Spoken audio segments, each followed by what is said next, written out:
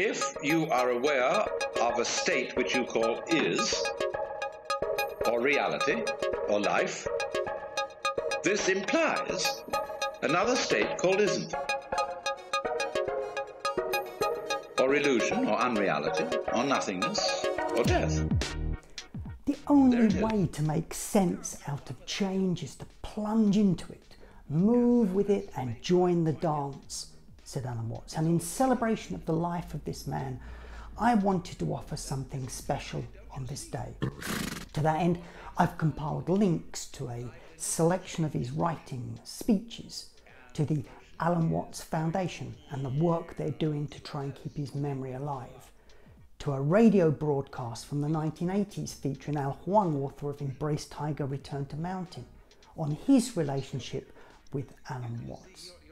And finally, as Watts was such a huge part of the inspiration behind two projects of mine, the complete Tai Chi course and the historical novel One Last Thing, enjoy this slow compilation of Alan Watts' material, as he was prone to say, don't rush, but that is like postponing the present. Watch, listen, read, do, and if you get a chance, look into his son Mark Watts' work over at the Foundation.